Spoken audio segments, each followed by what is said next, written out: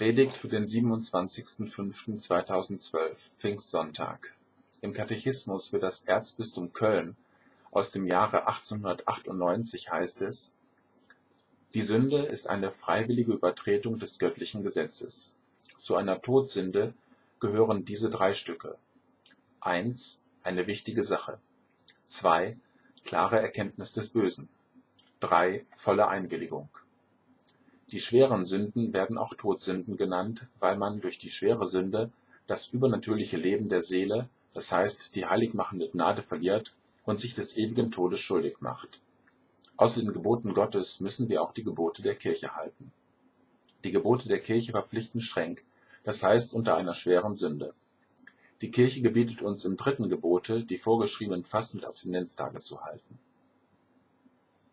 So steht es also im katholischen Katechismus der Samstag vor Pfingsten als Vigiltag und der Mittwoch, Freitag und Samstag nach Pfingsten als Quatembertage sind im Deutschen Reich Fasttage. Der Freitag ist zusätzlich, so wie jeder Freitag, ein Abstinenztag. Also wer an diesen Tagen zum Fasten bzw. zur Abstinenz verpflichtet ist und diese Pflicht bewusst nicht erfüllt, begeht eine Todsünde. Das heißt, er verliert die heiligmachende Gnade und macht sich des ewigen Todes schuldig. Das ist katholische Lehre. Aber darf man eigentlich annehmen, dass Gott sich dafür interessiert, ob jemand die Fast- und Abstinenzgebote hält?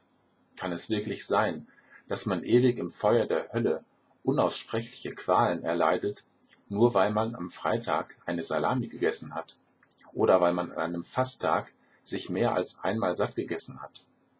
Wie kommt die Kirche dazu, solche Gebote zu erlassen? Und wie kommt die Kirche dazu, auch noch zu behaupten, Gott müsste sich an das halten, was die Kirche vorschreibt. Wenn die Kirche jemandem wegen einer Scheibe Salami das ewige Feuer in Aussicht stellt, warum muss sich Gott dann diesem rein kirchlichen Salami-Urteil unterwerfen und jemanden, der von einer einzigen Salamischeibe abgesehen sonst ein vorbildlich tugendhafter Katholik ist, zu ewigen Höllenqualen verdammen? Wie kann man sich dermaßen an einer einzigen Salamischeibe festbeißen? Und insbesondere beachte man doch bitte das Pfingstfest. Im Katechismus heißt es dazu, der Heilige Geist ist der Kirche gesandt worden am Pfingsttage, als er in Gestalt feuriger Zungen über die Apostel herabkam. Im ganzen Pfingstbericht steht nirgends eine Silbe von Salamischeiben, nirgends eine Silbe von einer Sättigung und zwei Stärkungen, nirgends eine Silbe vom dritten Gebot der Kirche, nirgends eine Silbe von Vigilfasten oder Quatemberfasten. Kurzum, Schluss mit Kirchengeboten und vor allem Schluss mit Höllendrohungen. Fasten und sonstiger Verzicht, das mag sich jeder selber aussuchen, so wie es ihm gerade passt. Aber wehe, man glaubt an oder predigt gar ein vorgeschriebenes Vigilfasten oder Quatemberfasten. Der Menschensohn ist Herr auch über den Sabbat. Da haben Fasten und Abstinenzvorschriften doch keinen Platz. Soll man, muss man also die Salamischeibe auf die leichte Schulter nehmen? Nun betrachtet man die Sache einmal nüchtern, dann wiegt die Salamischeibe doch weitaus mehr, als die Feinde der Kirche es wahrhaben wollen. Es geht dabei nicht eigentlich um die Wurst. Es geht darum, wie Gott die Schöpfung geordnet hat. Es geht hier um die von Gott bestimmte, natürliche und übernatürliche Ordnung. Es geht darum, dass Gott eine bestimmte Struktur in der Schöpfung wollte. Christus hat die Kirche gestiftet. Machen wir uns das mit aller Deutlichkeit klar, ganz besonders auch zum Pfingstfest. Christus hat die Kirche gestiftet. Im Katechismus heißt es, Christus hat die Stiftung der Kirche vollendet durch die Sendung des Heiligen Geistes. Ein wahrer Jünger Christi ist immer auch ein wahres Kind der Kirche. Paulus stellt fest, dass die Kirche Säule und Grundfeste der Wahrheit ist. Und im Katechismus steht auch, das Recht, Gebote zu geben, hat die Kirche von Christus selbst, der ihr die Vollmacht verliehen hat, die Gläubigen in seinem Namen zu leiten und zu regieren. Man beachtet die kirchlichen Gebote, darunter auch die Fastenvorschriften und Abstinenzvorschriften, eben deshalb, weil man in der Kirche die Stiftung Christi erkennt. Man anerkennt den göttlichen Willen, dass die menschliche Gemeinschaft eine geordnete Gemeinschaft sein soll. Die Gebote der Kirche sind nicht Hindernisse auf dem Weg zu Gott, sondern Hilfen. Sie schaffen Orientierung. Sie erleichtern es, in sein eigenes Leben Ordnung und Struktur zu bringen. Man erkennt an, dass Gott Hirten für die Herde bestimmt hat. Machen wir uns doch nichts vor. Wer die schrankenlose Freiheit eines Christenmenschen fordert, der gleitet leicht in völlig verworrene Ideologien ab. Heute mag man sich nur an den Fastenvorschriften und Abstinenzvorschriften stören. Aber woran stört man sich morgen? An dem unbedingten Verbot der Lüge? Am Verbot des Ehebruchs? Am Verbot der Homosexualität?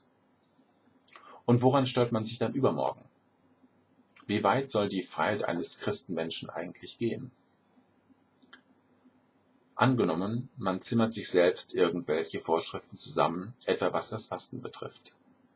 Denn eines wird man nicht leicht bestreiten können, dass auch im Neuen Testament auch das Fasten immer wieder empfohlen wird. Was aber, wenn das Fasten nur noch nach Lust und Laune geübt wird? Soll man, darf man ein schlechtes Gewissen haben, wenn man permanent auf jede Übung des Fastens oder der Abstinenz verzichtet? Entspricht es nicht gerade der menschlichen Natur, dass auch hier Ordnung herrscht? Ist es dann nicht auch naheliegend, dass in der übernatürlichen Ordnung, in der christlichen Lebensführung feste Akzente gesetzt werden? Es ist naturgemäß, es ist sinnvoll, es ist heilsam, dass es diese Gebote der Kirche gibt. Man sieht die Kirche als das, was sie ist, nämlich als Stiftung Christi, als Mittel des Heiles. Es kann daher nicht erstaunen, dass die Feinde Christi ausgerechnet an den Fastenvorschriften und Abstinenzvorschriften herumschrauben. In einer international tätigen Firma, deren derzeitiges sichtbares Oberhaupt Josef Ratzinger heißt und der sich den Spitznamen Benedikt XVI. zugelegt hat, haben Fasten und Abstinenz dementsprechend praktisch keinerlei Bedeutung. Von Vigiltagen und Quartembertagen weiß man da praktisch nichts. Von Fleischverzicht am Freitag ist dort gar keine Rede. Und zum Absurdesten gehört die dortige sogenannte Fastenzeit, in der jeder frei nach Lust und Laune irgendwie fasten soll. Zum Beispiel fastet man dort, wenn man sich eine SMS schicken lässt oder wenn man etwas weniger Auto fährt. Die Früchte dieses Firmenkonzepts sind nicht zu leugnen. Man schaue ganz nüchtern wie in dieser Firma mit dem Verbot der Lüge mit dem Verbot des Ehebruchs, mit dem Verbot der Homosexualität usw. umgesprungen wird. Kein Wunder dann, dass laut dieser Firma nicht-katholische Gemeinschaften Mittel des Heiles sein sollen. Diese Freiheit mündet in einer Versklavung an die Gottlosigkeit. Und für diese gebündelte, gezielte Gottlosigkeit, für diese Los-von-Gott-Bewegung hat die Firma auch eine besondere Bezeichnung bestimmt. Dieser große Glaubensabfall ist nach ihrer eigenen Wortwahl ein Neues Pfingsten. Dieses neue Pfingsten ist das Pfingsten ohne Gott, das Pfingsten gegen den Heiligen Geist. Also tun wir die Gebote der Kirche nicht leichtfertig ab. Danken wir Gott, dass er uns durch die Kirche leitet. Halten wir deshalb auch gerne und mit allem nötigen Ernst die Gebote der Kirche. Stehen wir treu zur Säule und Grundfeste der Wahrheit, damit wir dereinst teilhaben an der ewigen Freude des Himmels. Amen